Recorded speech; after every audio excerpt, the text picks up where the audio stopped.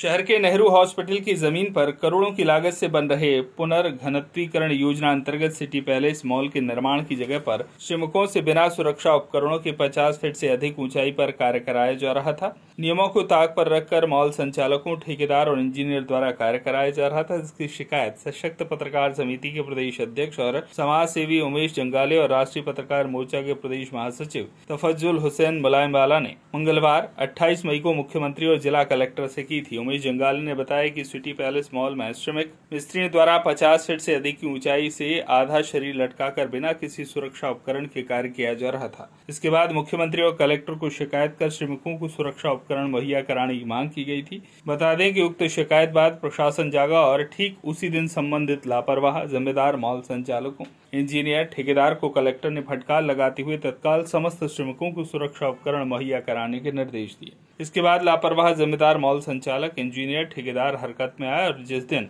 शिकायत हुई, उसी दिन से जिम्मेदारों ने सौ से अधिक श्रमिकों को सुरक्षा उपकरणों से लैस करवाकर सख्त टोपी, सुरक्षा चश्मा, कमर बेल्ट ईयर प्लग सुरक्षात्मक कपड़े जैसी चीज़ें मुहैया कराकर कार्य करने को कहा। सिटी पैलेस मॉल के इंजीनियर अनिकेत पटेल ने बताया कि सभी मजदूरों को सुरक्षा उपकरण मुहैया कराए हैं। सशक्त पत्रकार समिति और राष्ट्रीय पत्रकार मोर्चा द्वारा एक शिकायत की गई थी कलेक्टर मैडम को।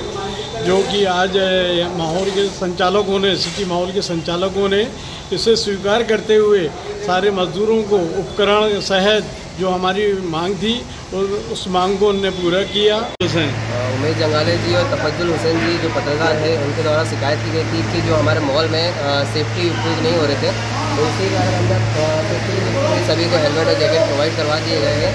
सेफ्टी का पहले भी ध्यान रखा जा रहा था, पर अब थोड़ा सा ज़्यादा ध्यान दे रहे हैं। जैसे कि ऊपर जो भी काम चल रहे हैं सारे कामों में सेफ्टी प्रोवाइड किया है। उपकरण सभी मजदूरों को हाँ उपकरण मुहैया करवा दिया। सभी मजदूरों को उपकरण वगैरह मिला है सभी को प्रोवाइड किया गया है सभी को। क्या शुभ नाम है आपका और क्या पत्ते आप? मैं यहाँ पे इंजीनियर हूँ अनिकेत पटेल। ये साइट पूरी जो विज़िट करता हूँ ये सारी साइट का वही काम देखता हूँ। शहर के बीचों बीच एक मॉल बन रहा है सिटी पैलेस मॉल उसमें मज़दूरों से बिना सुरक्षा उपकरणों के कार्य करवाया जा रहा था।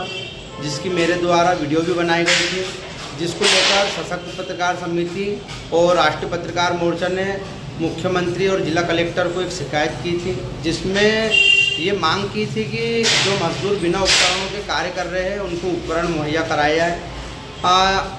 अट्ठाईस तारीख को ये हमने शिकायत की थी और अट्ठाईस तारीख को ही आ, कलेक्टर ने संबंधित जिम्मेदार मॉल संचालकों इंजीनियर और ठेकेदार को फटकार लगाते हुए सभी मजदूरों को सुरक्षा कराने के उपलब्ध कराने के निर्देश दिए। सभी मजदूर अब यहाँ पर सिटी पैलेस मॉल में अब उपकरण पहनकर ही ये कार्य कर रहे हैं। ये अच्छी बात है, कम से कम मजदूरों की जान नहीं जाएँगी, उनको कोई चोट नहीं आएँगी और कोई जनहानि नहीं होगी।